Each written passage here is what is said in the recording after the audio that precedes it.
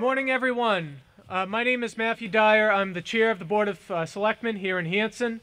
I'll be standing in today for Tim White, who is not able to come here uh, due to unforeseen uh, circumstances. So um, I just wanted to say thank you very much for all of you to come here to remember those who have served our country and gave the ultimate sacrifice, and to come here to remember those, but also to remember those who are still among us today as well. Uh, Tim wrote a note about why he wanted to do Memorial Day uh, observance here at Fern Hill.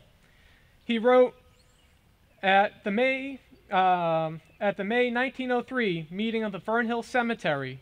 It was voted to present the Grand Army of the Republic, Post 127, with a lot on a small knoll in the oval area behind me. It was named the lot of the, uh, uh, the on-return lot in honor of 27 soldiers of the Civil War who died in service, most of whom were buried in the areas of their death.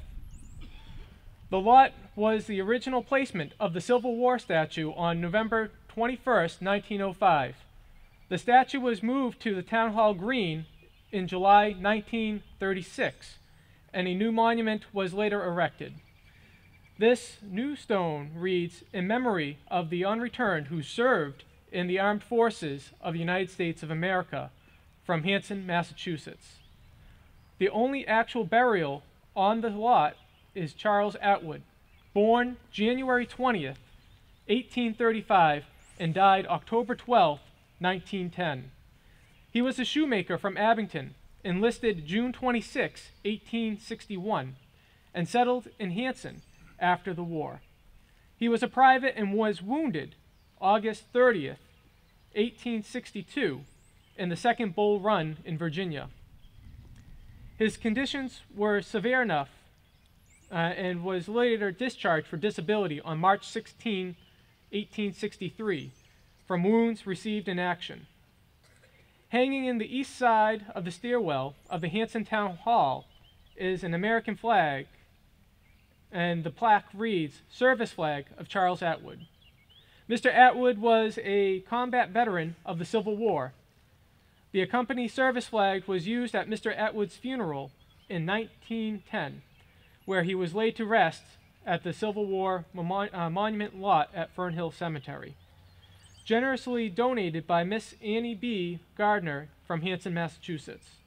Each Memorial Day services are held on the lot uh, uh, are held on the lot not only to the unreturned, but also to all the sacrifices that all veterans made of all wars. So, with that being said, I wanted to welcome all of you today, and um, I will now introduce members of the Hanson American Legion Post 226 to bring the flag to full mass, to bring it back down to half mass.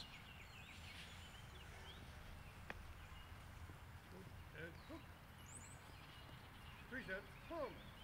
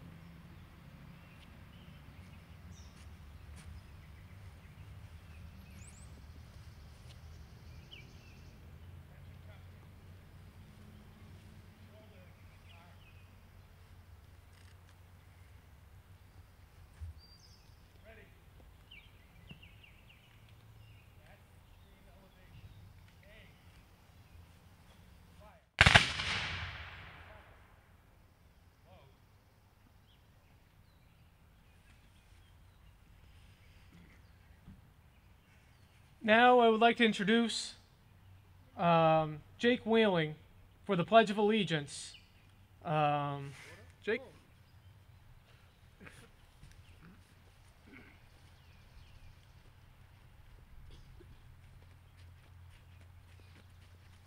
Hey, uh, can you all please join me in the Pledge of Allegiance? I pledge allegiance to the flag of the United States of America and to the republic for which it stands, one nation, under God, indivisible, with liberty and justice for all. Two.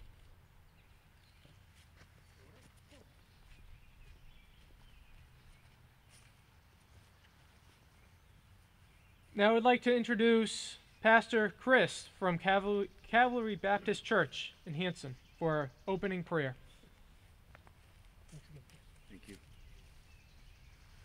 Let's bow in prayer together.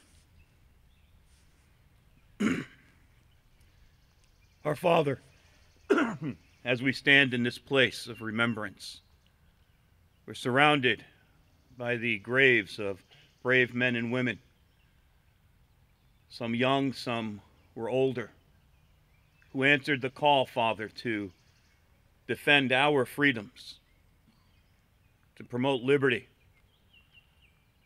And God, it's a sacred place. And as President Lincoln reminded us, we must remember that those who died did not die in vain, that the cause of liberty is going to continue. And I thank you for the, the reason to gather around today and the community that you've brought together.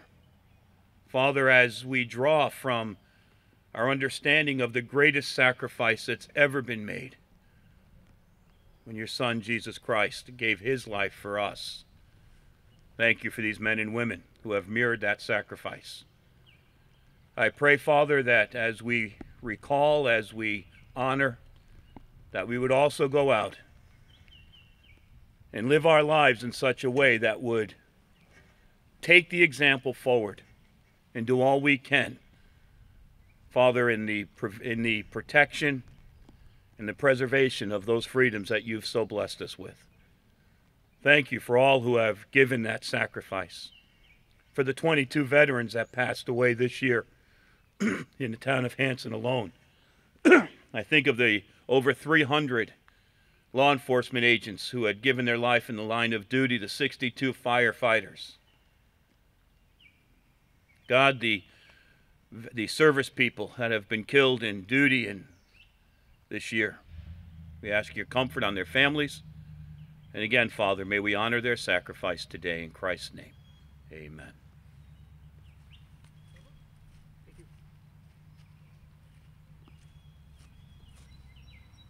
I'd like to call to the mic Tristan Baker, who will read the Governor's Memorial Day proclamation.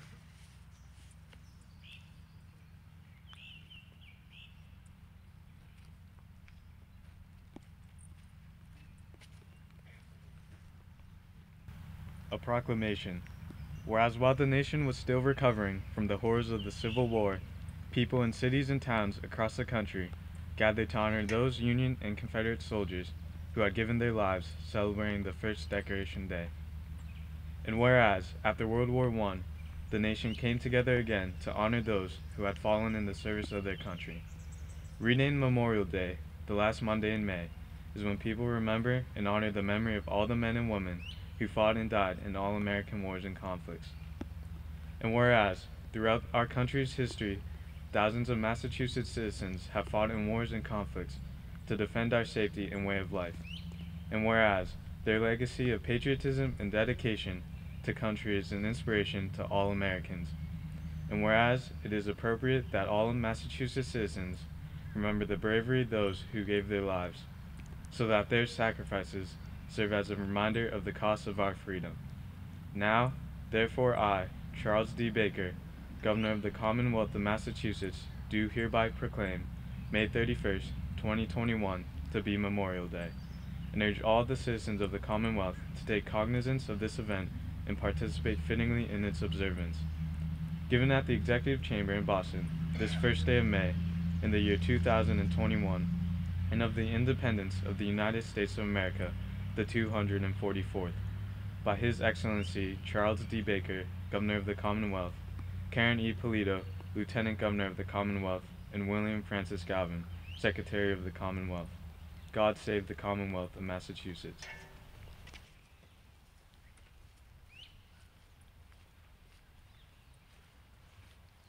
Thank you, Tristan. I'll now call to the front two selectmen, Selectman Kenny Mitchell and Selectman Joe Weeks, to escort a mourner to lay the wreath at the uh, unreturned lot.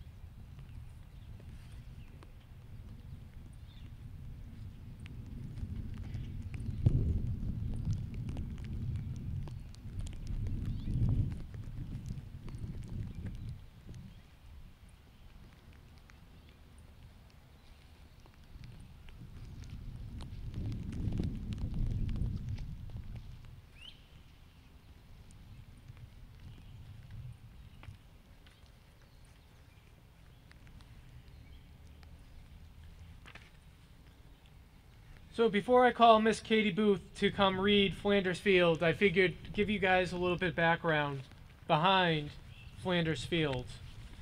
It was a poem that was written during the First World War, First World War, by a Canadian physician, Lieutenant Colonel John McCrae. He was inspired to write it on May 3rd, 1915, after presiding over a funeral of a friend and fellow soldier, Lieutenant Alex Helmer who had died in the Second Battle of Ypres. Uh, uh, according to a legend, fellow soldiers retrieved the poem after McCrae initially di- was dissatisfied by the work. In uh, Flanders Field, it was first published on December 8th that year in the London Magazine. The battle was so intense. For 17 days and 17 nights, none of us have had close uh, none had none of our none of us had had our clothes off, nor our boots, uh, except for occasion. And all that time I was awake, and gunfire and rifle fire never ceased for more than 60 seconds. And behind it all, a constant background of sights of the dead, the wounded, and terrible anxiety least in the line to give away, wrote McCrae. With that being said, Katie, would you come up and please read Flanders Field?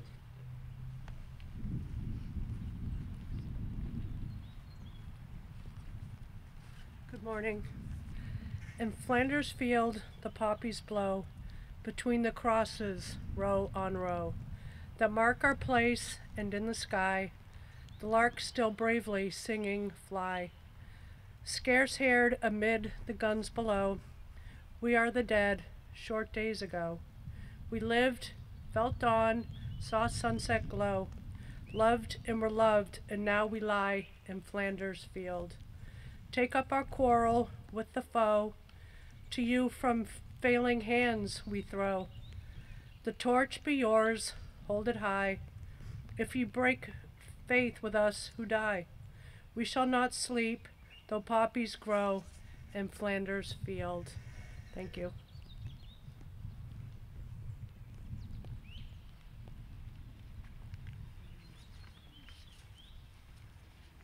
Thank you, Katie. So, since our last Memorial Day,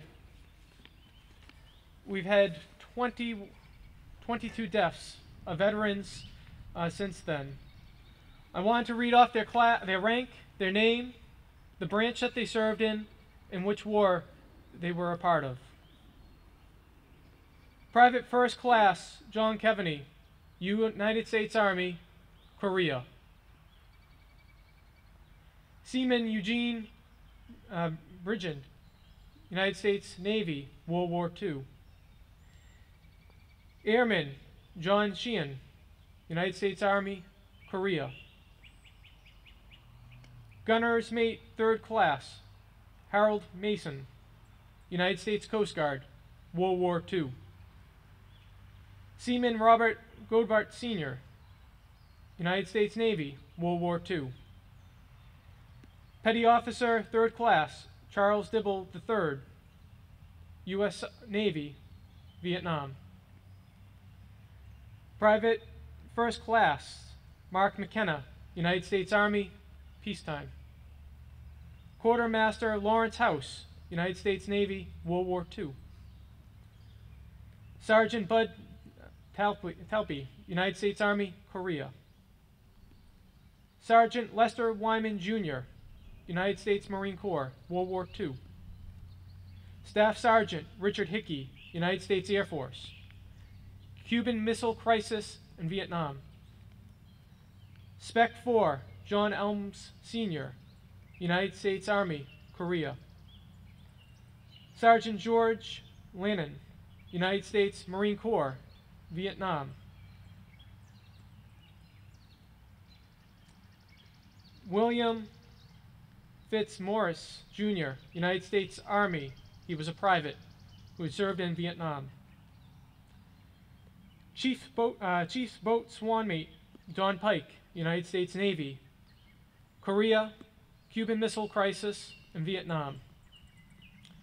Private First Class Grant McSwain, United States Na- uh, Army, Vietnam. Spec 4, Paul Rooney, United States Army, Vietnam. Corporal Robert Hoppel, United States Army, Korea. First Lieutenant Richard Holmes, United States Army, served in Korea, Cuban Missile Crisis, Vietnam. Sergeant First Class Alan Sace, United States Army, Korea. Spec 4, James McDonald, U.S. Army, Vietnam. Sergeant Michael Basket, U.S. Army, Vietnam. Fair winds and following seas to those. And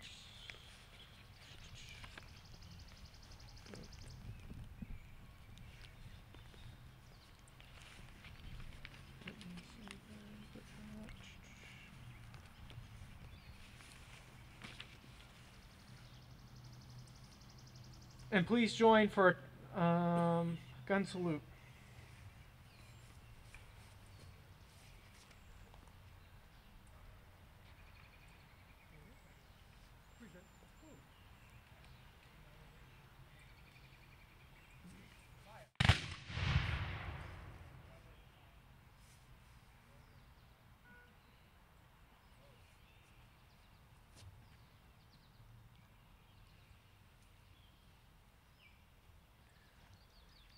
I want to ask Chris from the Calvary Baptist Church to come back for closing prayers.